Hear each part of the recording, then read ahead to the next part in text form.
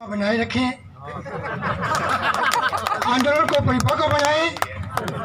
दो चार दिन से कुछ मिलता नहीं है। छत्तीस सौ प्राप्त करने के लिए अभी आंदोलन को और आगे लेके जाना होगा आपको। आप की तरह वो सचिन पायलट भी सोच रहा था कि वो ऐसे ही कुछ मिल जाएगा।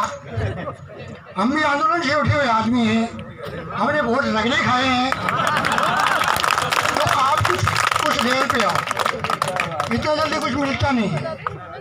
आप अपना जोश और जज्बा बनाए रखें आपकी फ़ाइल हमारे पास आ गई है। हम विचार करेंगे गंभीरता से विचार कर। रहे हैं अब हमारी गंभीरता किस लेवल की है, उसके लिए आपको थोड़ा वक्त देना पड़ेगा। जैसे जैसे आप परिपक्व होते जाएँगे, उसके अकॉर्डिंग हम आपके लिए व्यवस्था करते जाएँगे। वैसे आपके कुछ साथी वहाँ बैठे हैं। मैंने वो नाम सुना, एक फौजी साहब हैं, होशियार सिंह जी। वो मीडिया में कुछ ज़्यादा जोश दिखा रहे थे।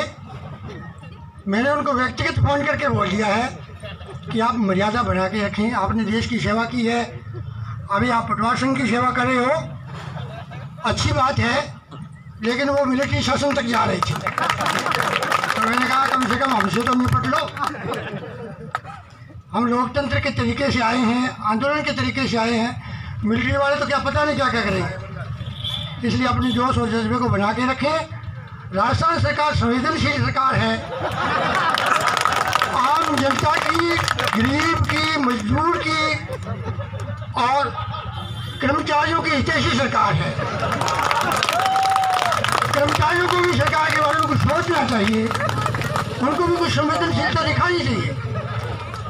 अभी आपके आंदोलन की बात है, मैं आपको निराश नहीं करना चाहता। लेकिन जब बात चली है तो बात कर ही लेते हैं कि आपका जहाँ धरना प्रदर्शन होता है, मैं मॉनिटरिंग कर रहा हूँ। आपके कुछ साथियों का ये मैसेज आ रहा है कि मुख्यमंत्री जी तक बात ही नहीं पहुँची है। मैं आपको बता दूँ कि आप जब अजमेर से पैदल चले थे, और जयपुर के बाद जब आपका वो कौन सी थी, वो पुलिया, वहाँ जब आपका धमावड़ा था तो वहाँ पे हमने देखी, वहाँ गाड़ियाँ खड़ी थी आपकी। यूरोपियन मॉडल गाड़ियाँ खड़ी थी। बीस बीस लाख की, पच्चीस पच्चीस लाख की, पचास पचास लाख की गाड़ियाँ।